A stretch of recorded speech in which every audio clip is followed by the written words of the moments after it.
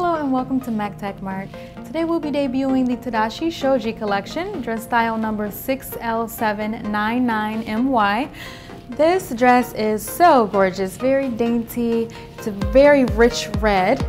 This dress is has a very high neck, which is very elegant, um, and it has sheer lining in between just to give you a pop of skin.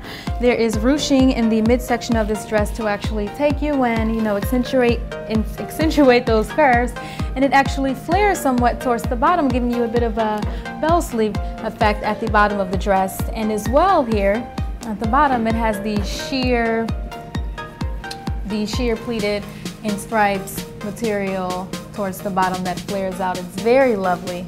As we turn around, we will see that there is a invisible zipper in the dress and as well as I was stating earlier, it's definitely going to take you in and as well it has pleating here so it's going to give the illusion of a more of a tightened in waist here which is very nice.